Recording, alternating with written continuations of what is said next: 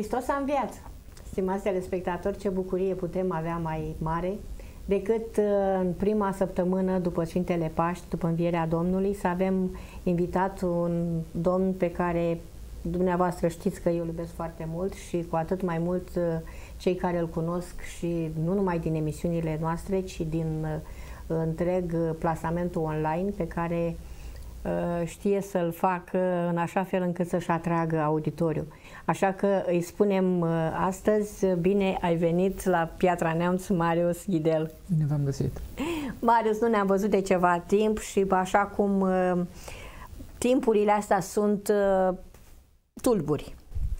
Vreau să-mi spui ce ai mai făcut în ultimul timp, vreau să-mi spui noutăți și, bineînțeles, cu timpul așa discutăm noi mai multe. Deci, am făcut emisiuni pentru YouTube, am un canal, am în jur de 1700 de emisiuni. Minunat! Uh, cu diferiți invitați, o școală a iubirii uh, și acolo încercăm să înțelegem împreună care este calea divină. Bun, în momentul în care îmi spui că ai făcut, uh, pentru cei care n-au văzut nicio emisiune, că ai făcut emisiuni cu invitați și uh, faceți în așa fel încât să se înțeleagă care este calea spre divin, vreau să te întreb um, dacă ai descoperit ceva nou până în momentul în care am făcut noi ultima emisiune. Da. Uh, faptul că înțelegerea la care am ajuns s-a întâmplat numai împreună. Deci individual, singur, nu, singur nu poți, pentru că ai nevoie de o relaționare, fiecare vine cu alte uh, păreri, conștientizări și punându-le în comun, ne ajutăm unii pe alții, adică creștem împreună. Deci evoluția nu se poate face decât împreună, nu izolat. Adică nu poate cineva care este singur și uh, vorbește singur, uh, nu poate să depășească o anumită limită pentru că uh, Uh, se blochează în uh, tipare. Are mereu același tipar, mereu același idei și nu poate să iasă din ele. Ca să iasă din ele, trebuie să se confrunte cu ceilalți și făcând schimburi, așa învățăm împreună. Deci, asta este cel mai mare câștig pe care l-am realizat, chiar față de cărți. Uh, am înțeles lucrurile mult mai profund și chiar dacă au fost diferente, ele ne-au ajutat să vedem care este calea corectă.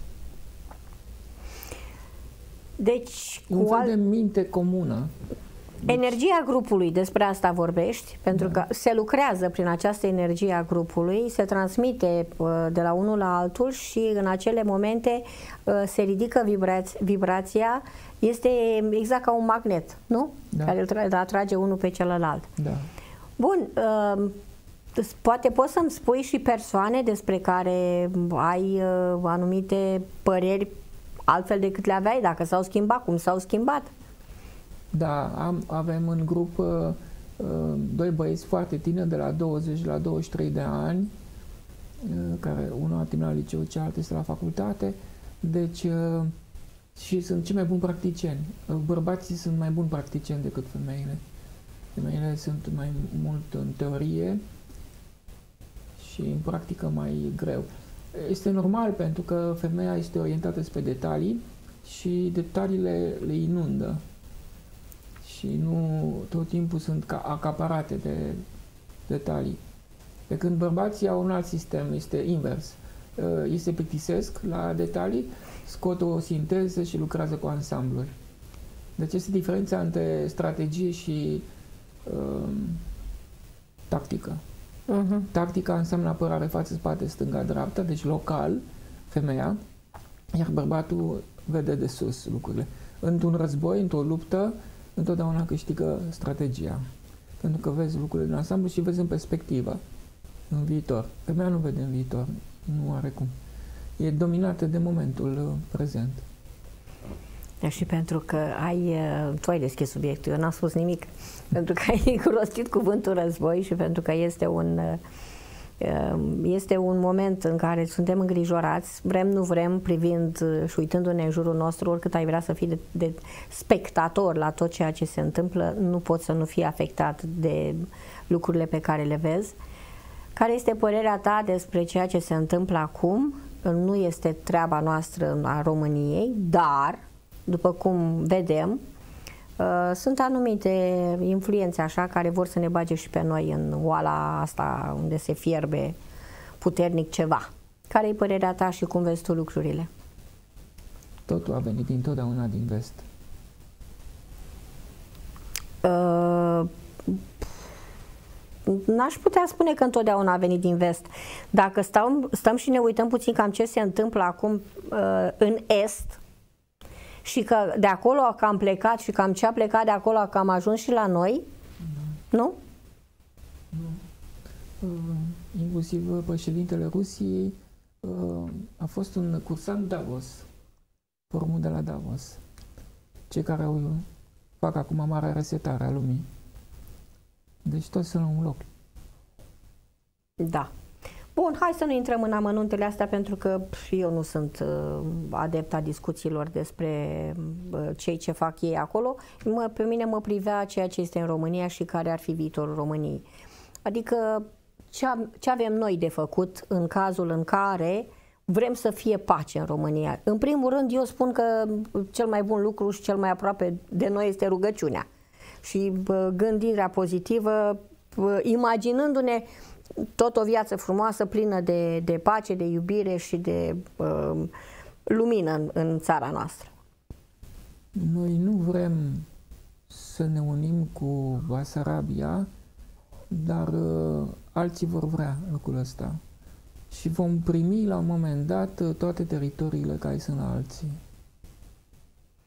Și încă repede. Dacă va fi pace și este pace, Doamne ajută să fie pace.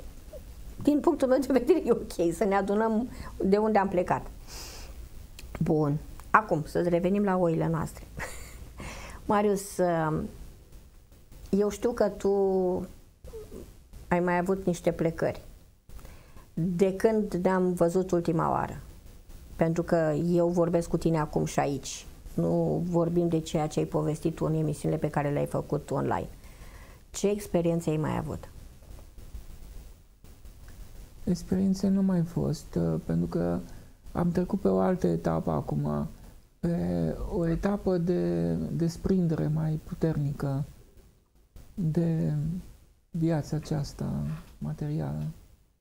Și spuneai înainte despre uh, că noi trăim lucruri, momente neplăcute, nu noi, ego-ul nostru.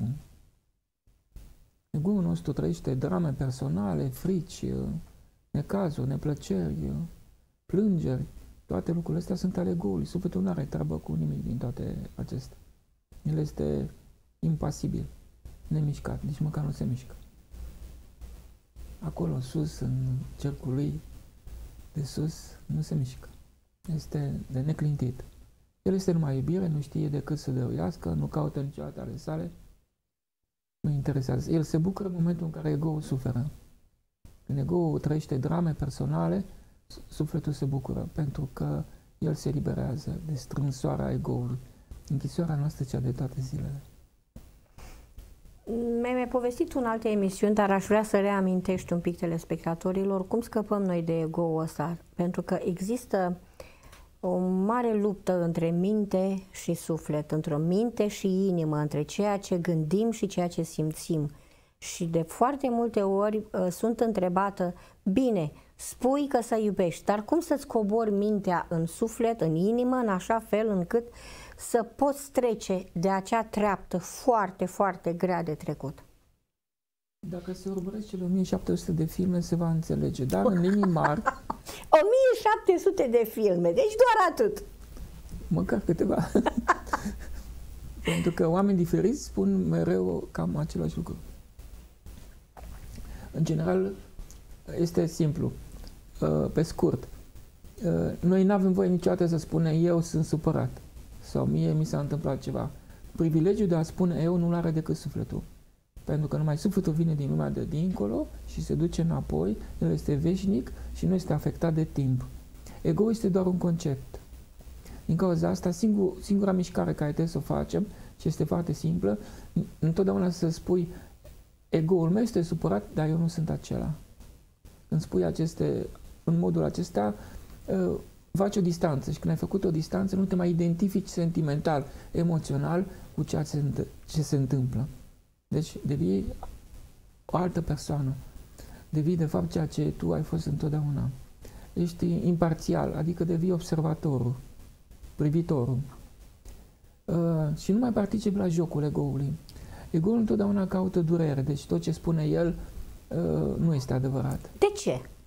El se gândește cu durere, pentru că el trebuie să atragă atenția, pentru că este foarte mic. El este nes- nesemnificativ.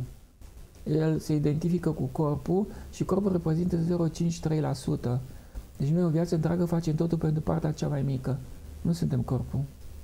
Este ca un defect de vedere. Dacă noi ne uh, retragem atenția cumva, nu o să mai vedem partea fizică, o să vedem niște vulvăt, o vulvătaie așa de lumină. Depinde de culorile fiecăruia, cum gândește. De obicei, majoritatea oamenilor uh, sunt preocupați numai de a câștiga, de viața de zi cu zi, deci trăiesc exclusiv în lumea aceasta. Și din cauza asta culorile lor sunt cenușiți pe roșu. Deci, odată am văzut pe calea moșilor în București. Vorbești de aură, nu? Este o aură, dar ei sunt ca niște cocoane, ca un cocon, ca un ou, uh-huh, așa lunguieț, uh-huh, de energie care vibrează, vâjie așa. Și că sunt umblătoare, niște ouă umblătoare. Și am văzut toate pe moșilor, m-am uitat la... N-am mai văzut oameni în locul lor, am văzut aceste ouă umblătoare. Uh, aproape toate erau cenușii pe roșu. Uh, în condițiile în care, spre exemplu, mi-a zis, am văzut 5.000 de ouă umblătoare. Astăzi, uh, probabil că 5, jumate din ei zic că sunt credincioși. Nu era nimeni credincios. Serios? Nimeni. Nu există.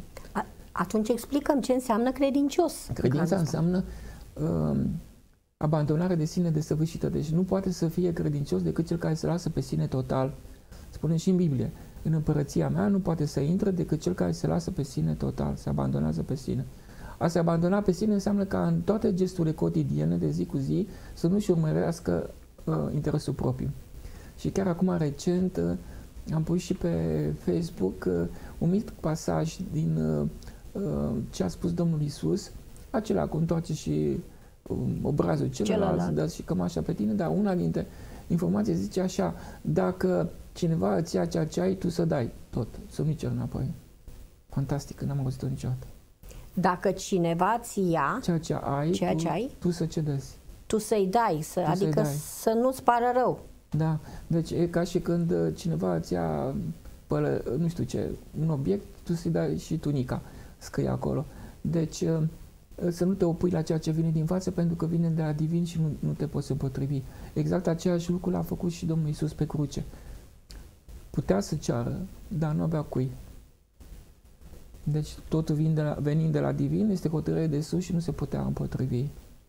În situația asta suntem fiecare din noi toată ziulica, de dimineața până seara, dar nu știm. Noi căutăm un bine personal, toată ziua adăugăm cât mai bun, mult bine la corpul nostru. Dar noi, nefiind corpul, din cauza asta sufletul se mișorează, crește ego-ul. Ego este identificarea cu corpul, cu binele personal, cu avantajele noastre. Noi suntem, de fapt, o ființă comună. Noi ar trebui să facem primul gest pentru celălalt, nu pentru noi. Când faci lucrul acesta, te unești cu ceilalți și când te unești cu ceilalți, ai toată siguranța că lucrurile vor, se vor derula bine și vei avea realizări și succes. Dacă când omul face totul exclusiv pentru el, atunci divinul îi se va împotrivi, pentru că divinul apără interesul tuturor. Deci apără interesul tuturor. Deci omul când este egoist și face totul pentru el și a și generat programe de autodistrugere. Deci viața începe să îi se opună automat. Pentru că totul este construit pe iubire. Deci în fibra vieții este pusă iubire. Dumnezeu când a construit totul, a creat totul, a suflat. Când a suflat, înseamnă că uh, suflul acela divin este și în piatră, și în apă, și peste tot. Peste tot. Deci dacă din față vine numai divinul în toate formele posibile, tu nu te poți opune la nimic.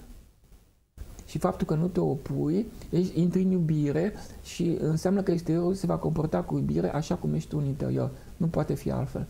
Deci singura soluție de a rezolva problemele este să fii tu cum trebuie și atunci lumea se va schimba. Marius, ca să fii tu cum trebuie, uh, trebuie lucrat. Trebuie, acest cuvânt nu trebuie spus trebuie, dar e bine să lucrăm, da, să schimbăm puțin. Să lucrăm cu noi, să lucrăm cu mintea, ca să poți să dai unui om ceva din lucrurile tale, să te rupi de acele lucruri pe care tu le-ai muncit, le-ai câștigat cu greu și așa mai departe.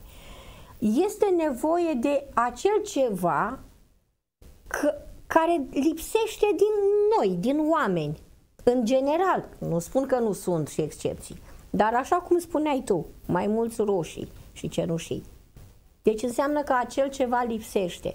Și eu cred că acel ceva este iubirea necondiționată. Ca să ajungem la iubirea necondiționată, este nevoie să lucrăm cu mintea. Ca să lucrăm cu mintea, este nevoie de cunoaștere.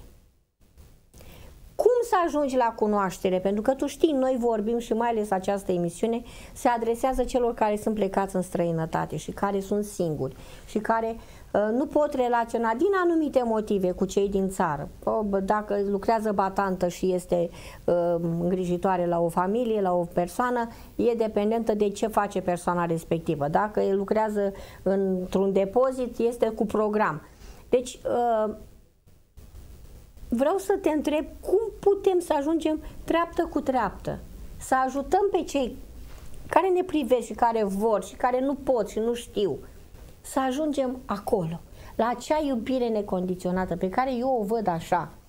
Și am spus, Doamne, când voi ajunge să văd un om al străzii care caută în gunoaie și să-l privesc cu iubire și să-l privesc cu toată dragostea mea, atunci simt cu adevărat că am ajuns acolo, la iubirea necondiționată. Sincer, n-am ajuns. E foarte simplu, dar nu ne convine. Uh, nouă nu ne place iubirea. Noi fugim de Dumnezeu și fugim de Isus pentru că nu vrem să punem uh, însușirile divine în comportamentul nostru.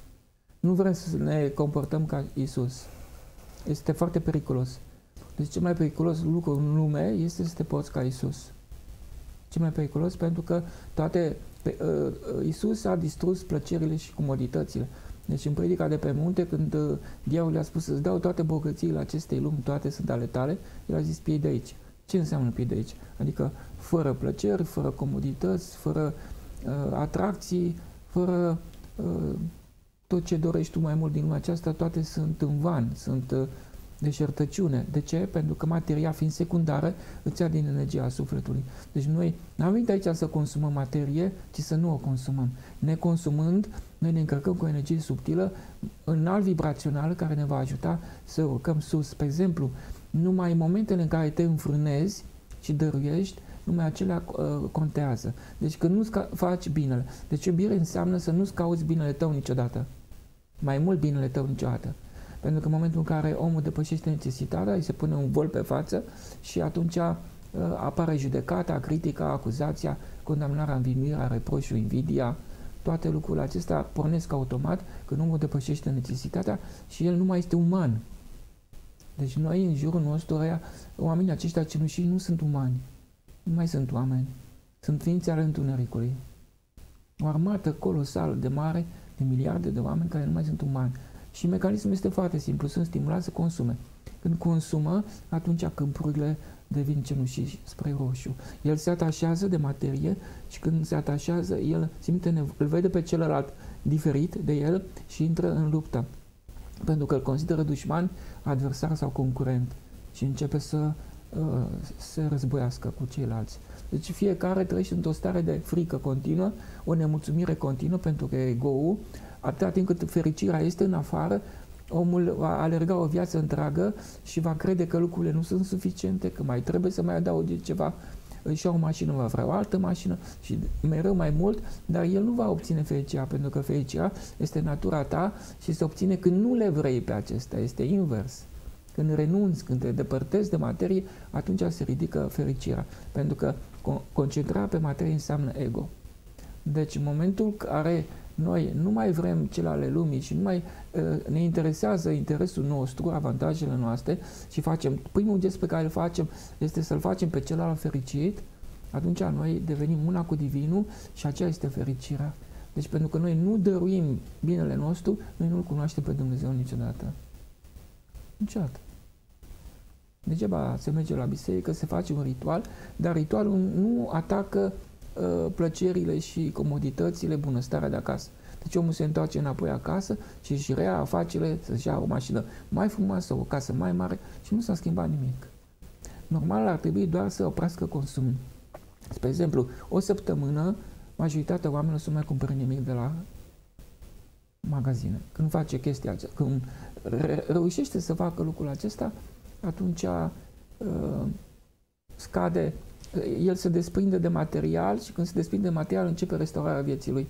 Deci cu fiecare gest de a spune nu atracțiilor vieții și da solicitărilor vieții, viața lui se reformează. Deci trebuie să înțeleagă clar că dacă el spune mereu nu, de dimineața până seara, la tot ceea ce este plăcut, spre exemplu, ă, să nu meargă cu mașina la serviciu, să meargă pe jos, să nu stea jos în tramvai, să stea în picioare, să se ofere la serviciu, să preia greutățile celorlalți și să nu fugă de greutăți, când ajunge acasă să meargă pe scări, nu cu liftul, când face toate lucrurile acestea, înseamnă că pune mai presus decât materia sufletul, că sufletul înseamnă nu materia.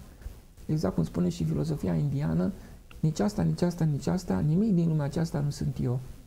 Deci tot ce caută omul, um, acest bine personal, el de fapt face, caută un bine pentru 0,53% și ignoră sufletul, îl presează, îl duce dincolo de linia roșie subțire și atunci, atunci sufletul fiind una cu toate sufletele, uh, poate să uh, comande ceva din exterior ca să vină să ne scadă.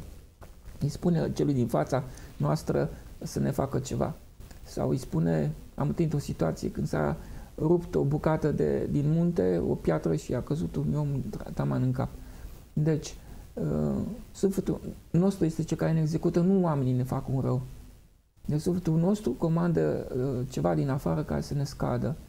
Deci oamenii nu sunt răi, noi nu iubim suficient și din cauza asta, nealimentându-i cu energie subtilă, ei decad. Deci e un fel de strigăt. Ei ne arată că noi nu suntem în regulă. Deci te-am lăsat să vorbești, deși am câteva zeci de întrebări acum în mintea mea. Scuze. Revin la ceea ce ai spus. O săptămână să nu cumpărăm nimic. Ce implică acest lucru în viața de familie? practic, pentru știi că eu sunt un om practic. Omul trebuie să înțeleagă. Nu mă duc să cumpăr săptămâna asta nimic de la magazin. Înseamnă să nu mănânc pâine, înseamnă să nu... Nu știu, mai puțin. Să mănânc mai puțin. Sigur. Bun, dar la un moment dat pâinea aceea care o ai de săptămâna trecută s-a terminat. Eu care sunt diabetică, s-a spus, sunt un om practic, eu dacă nu mănânc două felii, cel puțin două felii de pâine graham pe zi, mie mi se face rău. Deci principalul este să reducem lăcomia când noastră, că lăcomia lor, a celor care ne conduc, este lăcomia noastră. Dacă noi reducem lăcomia și ne desprindem de materie, atunci ei scad. Pentru că toate restricțiile care vin sunt pe lăcomie. Suntem exact în situația în care a fost poporul evreu când a fost în robie la perși. E singura soluție pe care a avut-o Estera. Nu a fost să se lupte cu regele peșilor pentru că nu a obținut niciun rezultat au încercat prin răzmerițe, prin uh, răscoale și mai departe, prin uh, um, corupție și nu au, nu au reușit. Și atunci se da seama că nu este o problemă între ei și regele perșilor, că nu el este cel care decide, ci divinul. Deci este o problemă dintre ei și divin. Exact situația care este la noi acum. acum.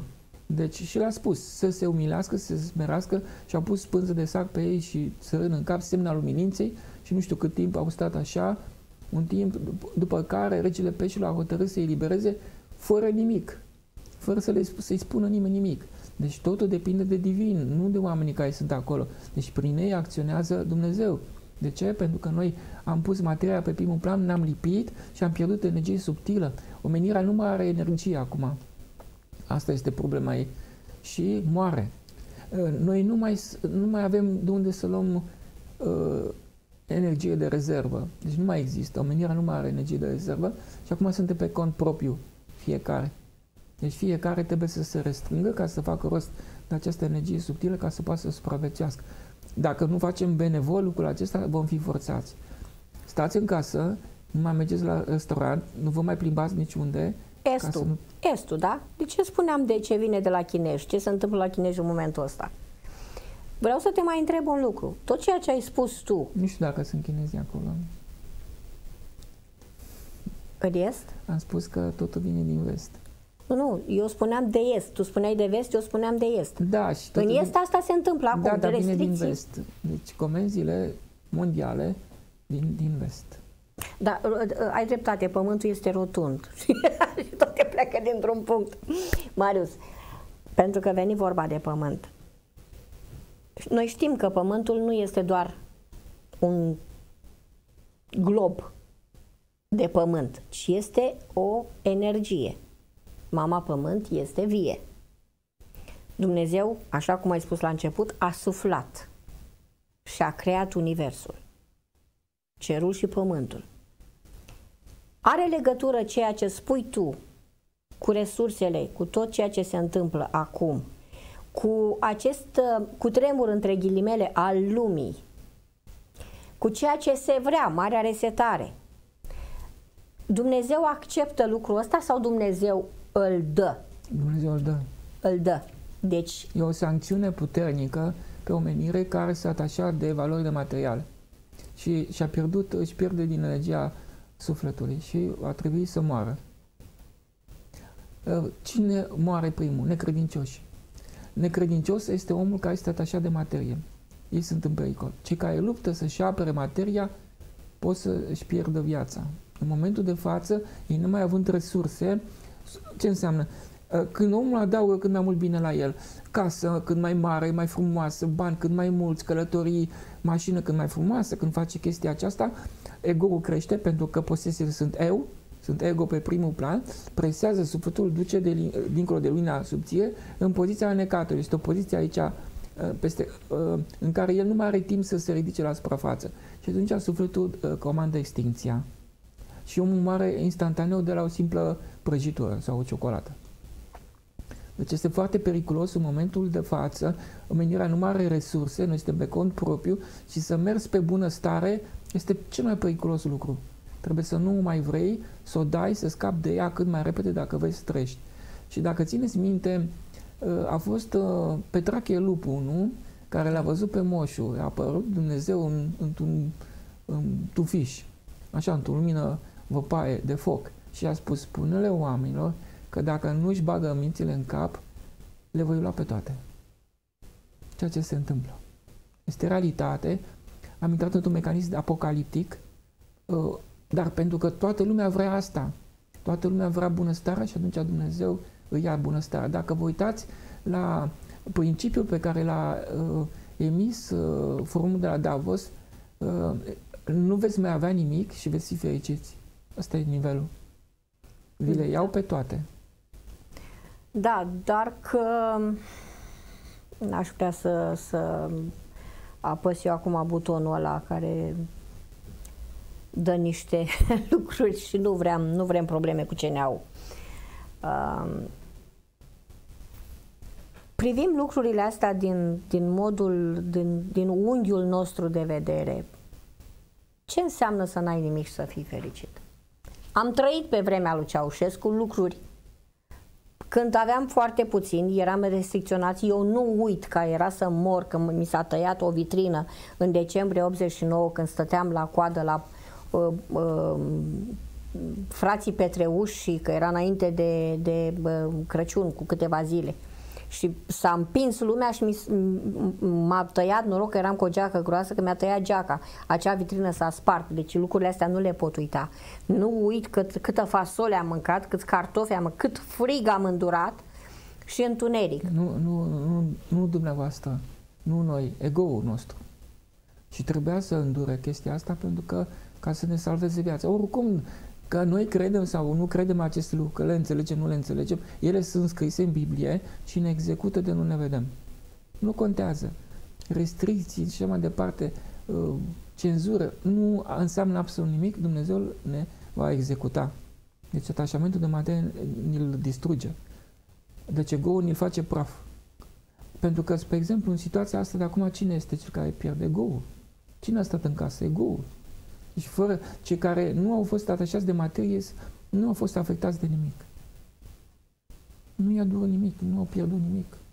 Decât ăia care, pentru ei era dureros să nu se ducă la restaurant, pentru ei era dureros să nu se plimbe, Pentru ei erau dureros, nu știu ce să mai facă, să mun- muncească toată ziua la serviciu și la convenție să stea acasă.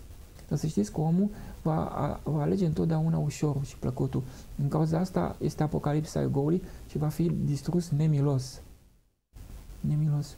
Pentru că s-a făcut un experiment în Suedia, s-a introdus uh, uh, venitul minim garantat și nu mai vrut, ei sperau că să mai ducă oamenii la muncă, să mai fie cineva dintre cei care erau în experiment. Nimeni nu mai vrut să meargă la muncă.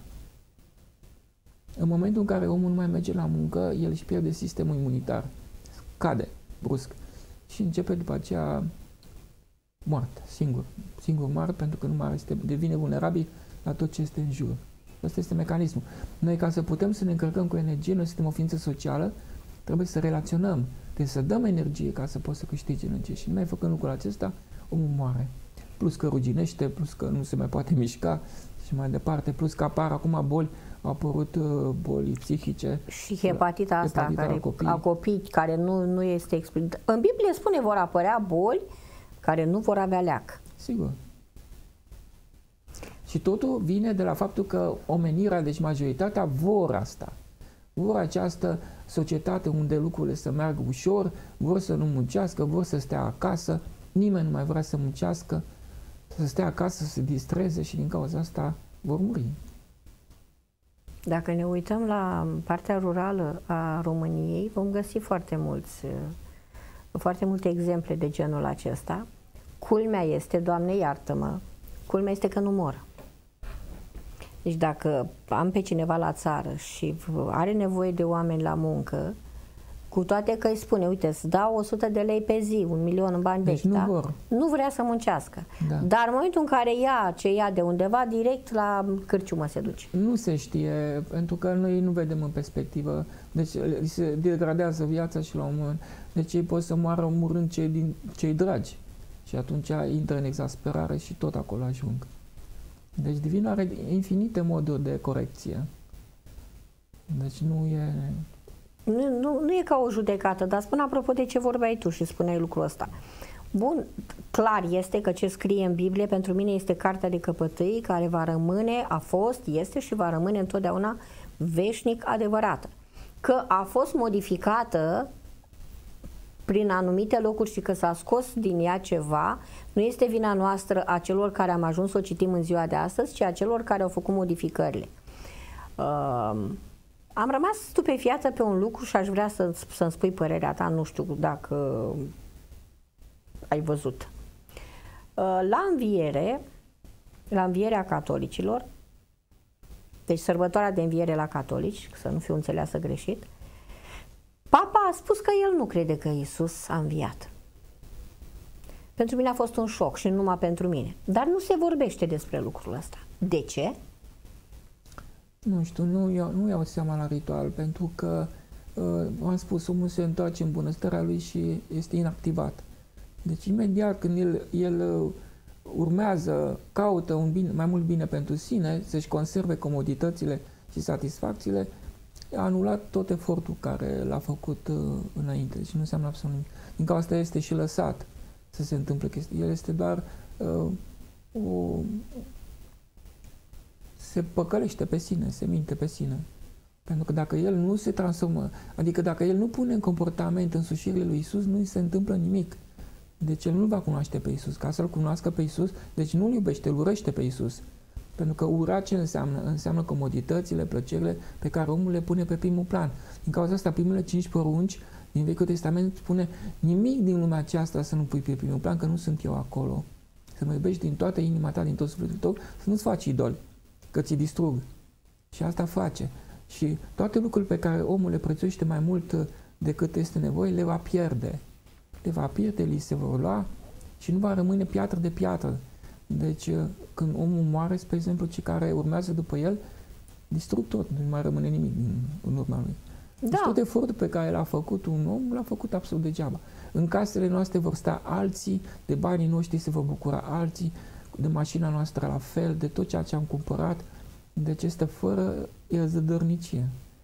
Deci noi o viață întreagă punem uh, preț pe ceea ce este neimportant. Iar ceea ce este cel mai important, puterea cea mai mare, care este sufletul, nu facem nimic pentru ea.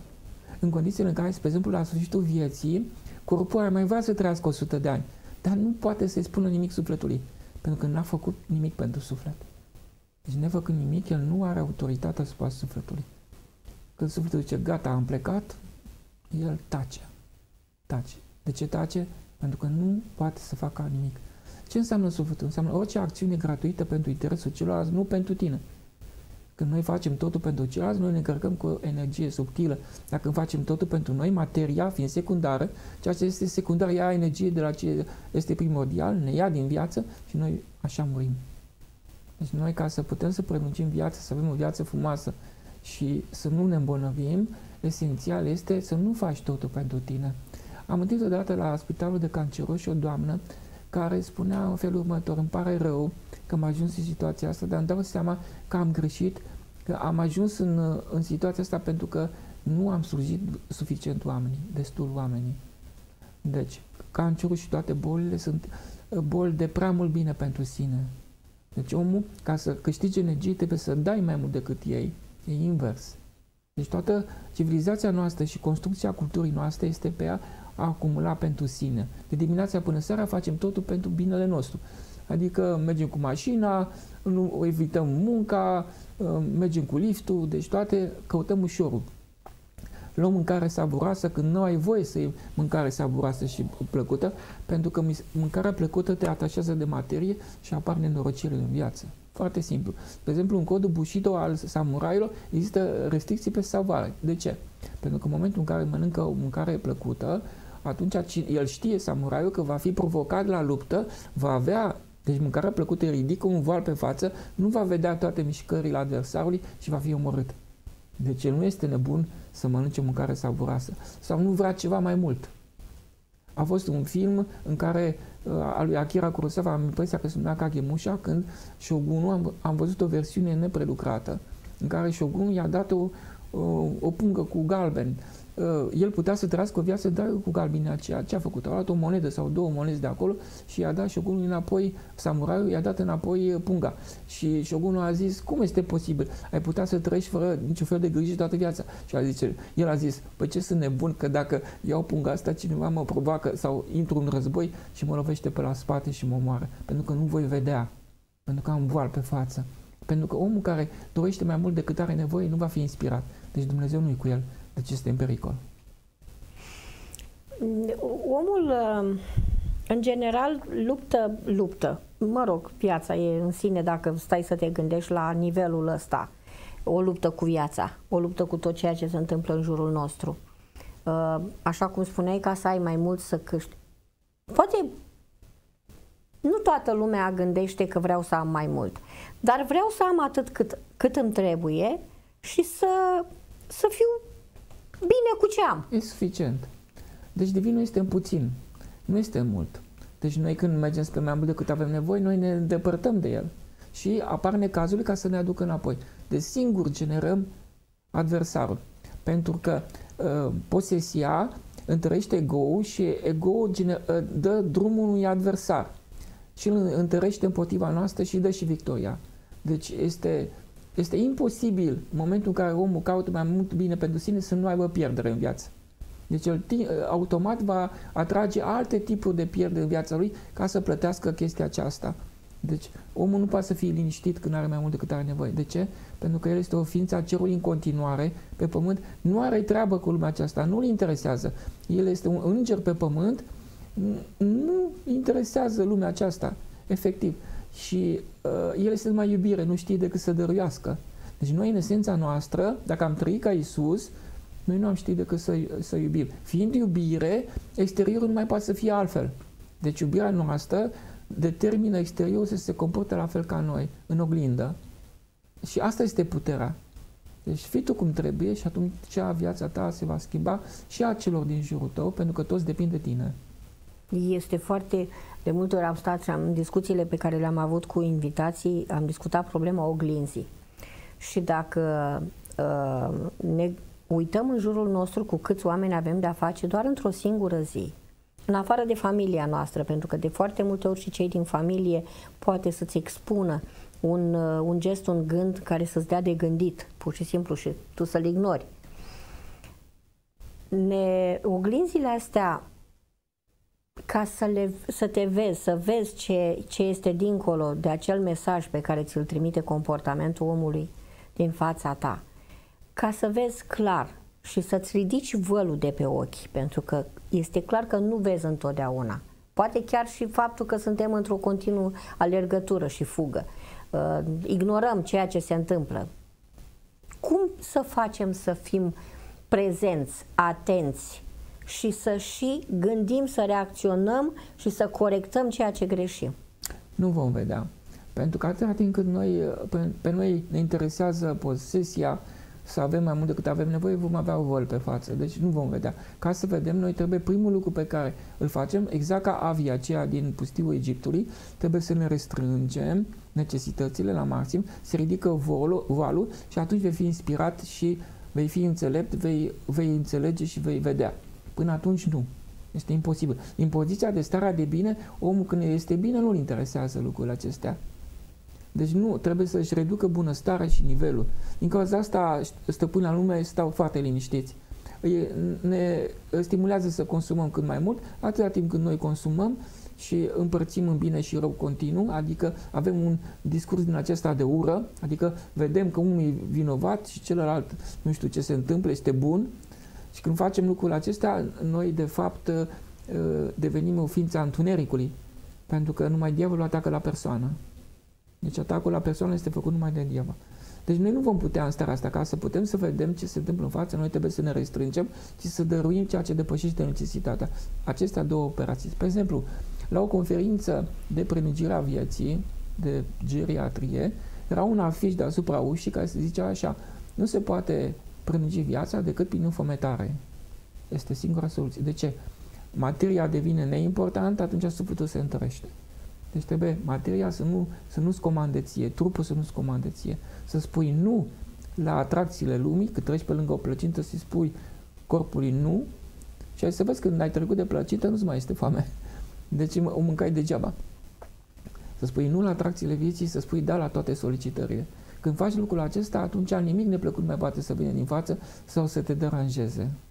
Ne deranjează atâta timp cât avem atașament și va trebui să ne desprindă. Și oamenii ne produc necazuri special ca să poată să ne salveze viața. Nu există nimic rău în lume.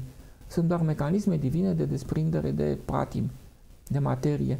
Și divinul face lucruri, că noi credem, că nu credem, că ne uh, respingem aceste lucruri, nu contează. El va merge în continuare și ne va distruge ego-ul implacabil. Și vreau să spun că în fața noastră întotdeauna este numai El, nu sunt oameni.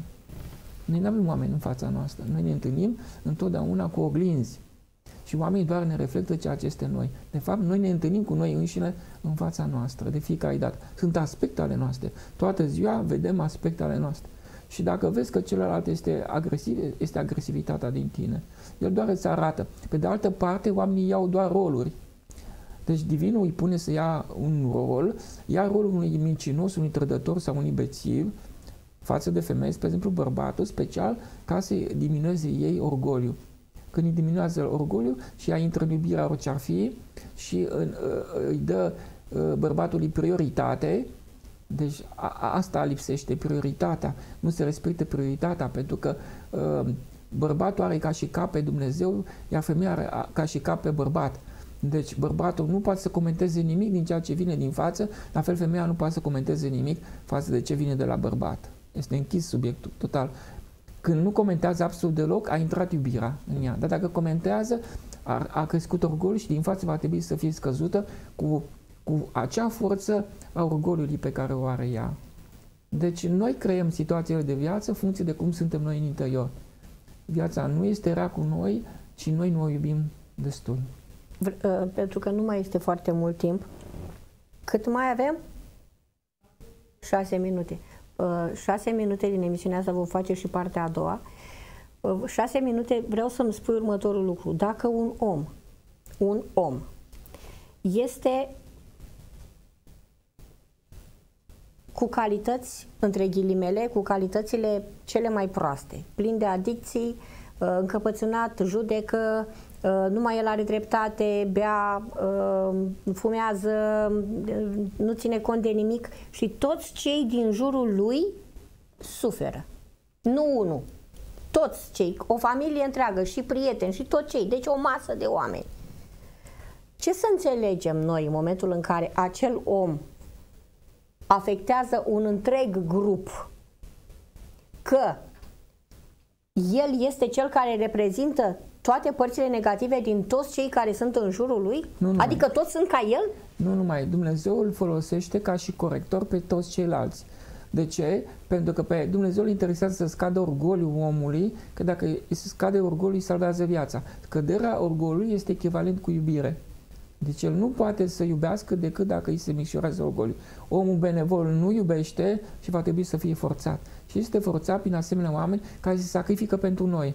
Iau rolul din acestea neplăcute de trădător, mincinos sau bețiv ca să ne scadă nouă uh, speranțele și uh, dorința de atașare de materie, adică de o soartă bună, ne o distruge pentru că omul care e atașat de, de soarta bună uh, la un moment dat uh, îi crește agresivitatea foarte mult prin atașamentul respectiv și va ataca nu numai pe pe toți oamenii și va ataca Universul. Am impresia că este și în Biblie o situație din asta. De ce ucenicii l-au întrebat pe Iisus de ce nu i-a dat picioare acestui om?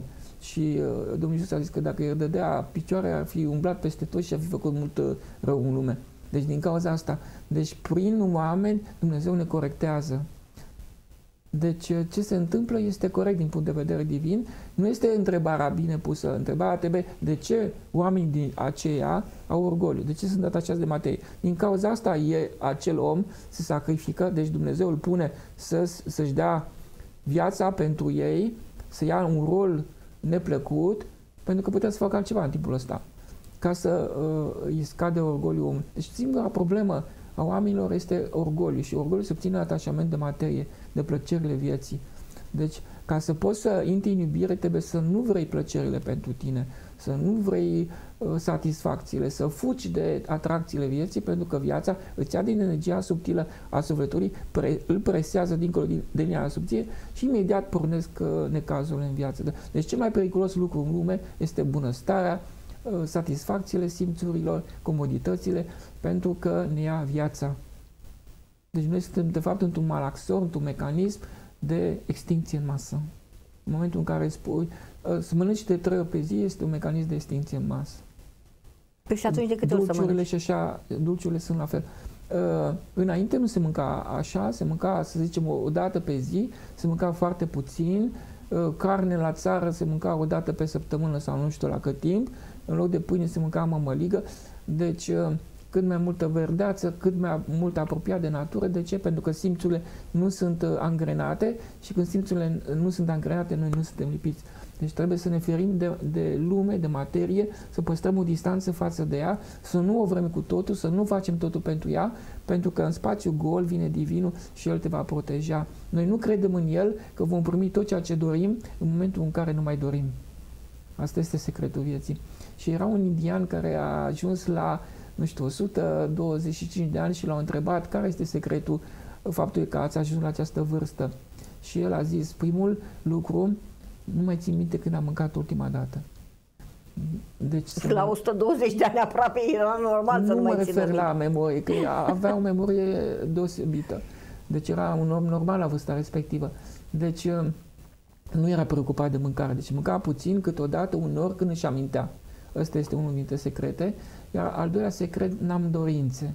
Deci dorința înseamnă dorință de plăcere, de bunăstare, de bine pentru sine și când nu mai ai dorință, nu se mai duce energia pe materie. Face economie. Din cauza asta, ca soluție, una, că sunt foarte multe uh, soluții, este să suspenzi mâncarea.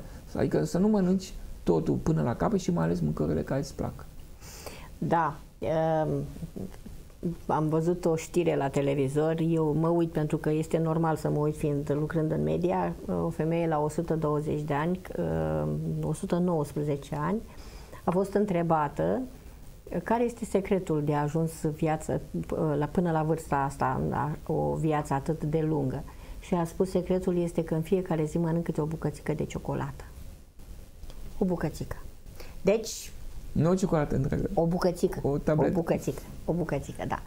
Uh, Marius, puțin, puțin, puțin, evident, dar uh, acel, acel ceva, acel puțin este. Păi nu este problema asta, deci puțin, atât timp cât te păstrezi în puțin, ești în divin.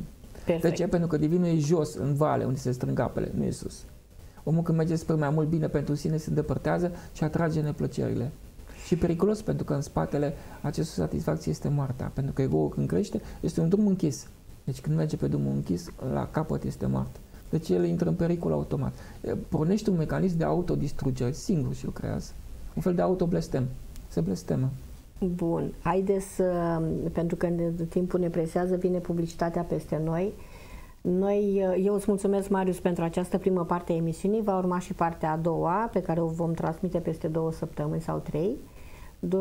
Dumneavoastră vă doresc din toată inima să aveți parte de un weekend minunat, de sărbători frumoase în continuare. Nu uitați că Dumnezeu ne iubește în egală măsură, iar aceste emisiuni sunt făcute în numele Sfintei Trăim și mulțumesc Domnului că îngăduie să le facem. Suntem aici pentru dumneavoastră.